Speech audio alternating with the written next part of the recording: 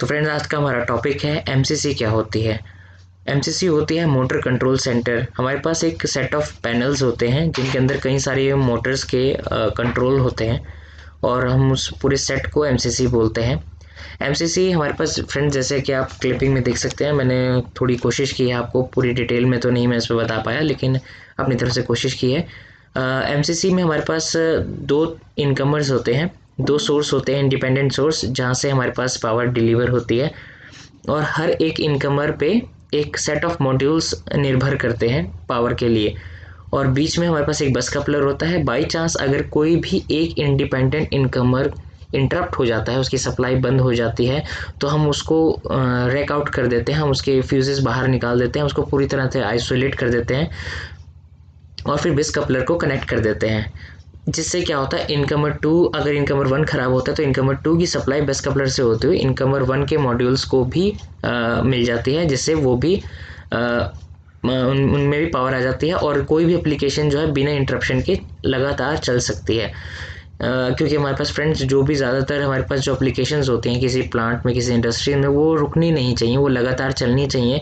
और वो ऐसा लगातार चलती रहें क्योंकि उनके बंद होने से कोई बहुत बड़ा प्रोसेस जो है उसमें प्रॉब्लम आ सकती है और बहुत बड़ा नुकसान हो सकता है।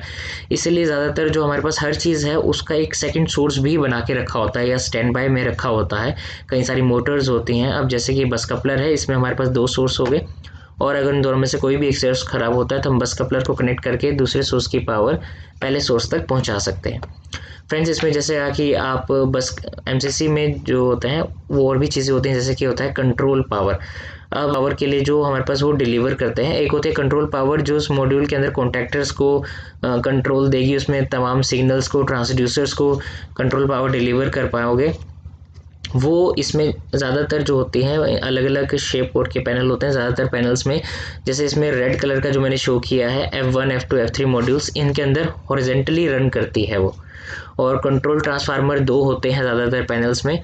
पैनल्स के हमारे पास फ्रंट दो फ्रंट होता है एक तो एक होता है बैक फ्रंट को हम F1, F2, F3 इस तरीके से हम नाम देते हैं और बैक में हम R1, R2, R3 करके नाम देते हैं।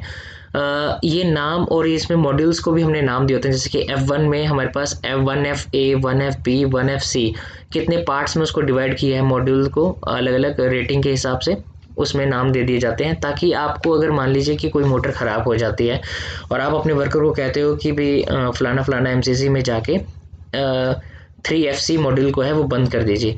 तो उसको क्या पता चलेगा, पहले वो उस एम को ढूंढेगा, उसके बाद वो एफ़ थ्री फीडर को ढूंढेगा, उसमें थ्री एफ़ सी मॉड्यूल कहाँ पे उसे दिख जाएगा, क्योंकि नाम लिखा होगा और फिर वो उसको पावर को ऑफ़ कर सकता है। इससे कोई भी हादसा होने से बचाया जा सकता है।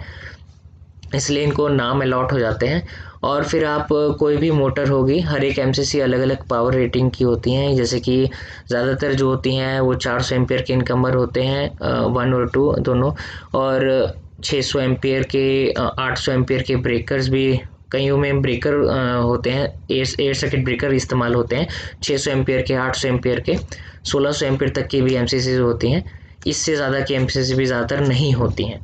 अब ये रियलिटी में कैसा दिखता है, मैं आपको एक वीडियो के ज़रिए समझाता हूँ, ताकि आपको और अच्छी तरह से समझ में आ सके। फ्रेंड्स जैसा कि आप इस वीडियो में देख सकते हैं, हमारे पास, हमारे प्लांट में एक, ये एमसीसी है। और इस तरह से हमारे पास इसके दोनों कोनों में इनकमर है, जो कि जिसमें भी कि आप जो तो थोड़े बड़े बड़े मॉड्यूल्स हैं, वो इनकमर है और एक बीच में जो है हमारे पास वो बस कपलर है। मैं आपको थोड़ा इसे पास से दिखा देता हूँ।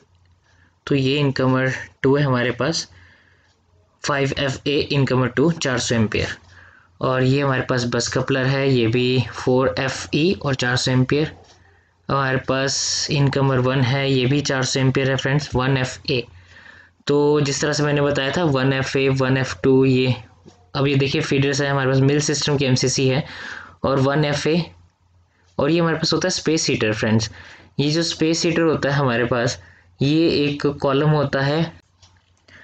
इसमें फ्रेंड्स हमारे पास हीटिंग अरेंजमेंट भी होता है हीटर भी लगा होता है जैसे आप इस इनकमर की, इस इनकमर की इनपुट जो है, वो केबल गैलरी से होती हुई इस तरह से आ रही है. हमने इसको ब्लॉक कर रखा ताकि कोई हजार्डिस ना हो क्योंकि पावर सप्लाई ज़्यादा है। और दूसरे जो हमारे पास स्पेस हीटर्स होते हैं, उस ब्लॉक में हमारे पास जैसे यहाँ से अब इस मॉड्यूल का आउटपुट निकल रहा है। ये केबल जा रही हैं और ये फिर यहीं से, इसी अरेंजमेंट से ग्लैंड लग के केबल गैलरी के अंदर जाती हैं और वो सोर्स तक पहुँचती हैं जहाँ पे वो पावर आउटपुट जो है ज़रूरत होगी। या पैनल लगा होगा या मोटर लगी होगी, उस तरीके से वो आउटपुट चली जाती हैं। और ये फ्रेंड्स आप देख सकते हैं five F A four F A हमारे पास इस तरह से हमारे पास ये फीडर्स बने हुए हैं। इसको अरेंजमेंट एंड फिर इनके ब्लॉक होते हैं, इस तरह से साइड में दिख साइड से ऐसे दिखता है और वो अर्थिंग पॉइंट है नीचे। और हमारे पास इस तरह से बैक साइड में आर आ गया फाइव आर और फोर आर फिर फर्दर हर एक के साथ स्पेस हीटर है थ्री आर इसके साथ भी स्पेस हीटर का ब्लॉक हो गया। Two R. क्योंकि इसी स्पेस हीटर के में से इनपुट और आउटपुट जो है केबल्स निकलेंगी और अरेंजमेंट होगा सारा। और वन आर एफ़ और ये हो गया one R E one R D one R C one R B और वन आर ए। ये इस तरह से हमारे पास इस मॉड्यूल एक फीडर को फर्दर डिस्ट्रीब्यूट किया जाता है अलग अलग मॉड्यूल के नाम से। और ये ऑक्सिलरी सप्लाई ट्रांसफार्मर हो गया। ये हमारे पास कंट्रोल ट्रांसफार्मर की बस बी होगी, यानी कि सेकेंड सोर्स हो गया ये। और ये बस ए कंट्रोल ट्रांसफार्मर फॉर बस ए ये हमारे पास इसकी सेकेंड अरेंजमेंट हो गया। इस तरीके से फ्रेंड्स हमारे पास पूरी एमसीसी होती है। आई होप आपको ऑडियोज क्लिपिंग से भी और इस वीडियो से भी अच्छी तरह से समझ में आ गया होगा। इससे आप कभी भी अगर इंडस्ट्री में जाते हैं तो आपको एकदम से ऐसा नहीं लगेगा कि मैं इस चीज़ को नहीं जानता। अगर आप इस वीडियो को अच्छी तरह से देख लेंगे और समझ लेंगे, पूरी इस वीडियो को देख लेंगे तो आपको पूरा अरेंजमेंट समझ में आ गया होगा। एमसीसी का कोई कैसे अरेंजमेंट होता है।